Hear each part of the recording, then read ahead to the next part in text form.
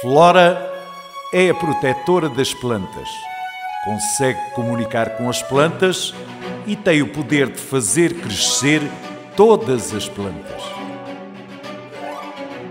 O Capitão Mundo tem o poder da sensibilização ambiental.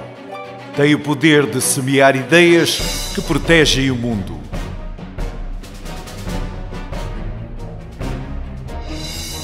Amaralis é a protetora da fauna. Com a flor encantada, tem o poder de curar todos os seres vivos ao seu redor.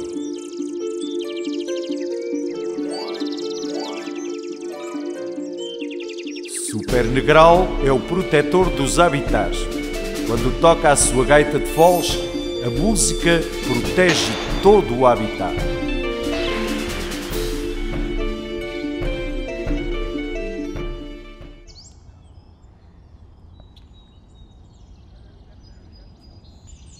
Sabias que o lagarto, considerado por muitos o mais bonito do país, se encontra nesta área protegida?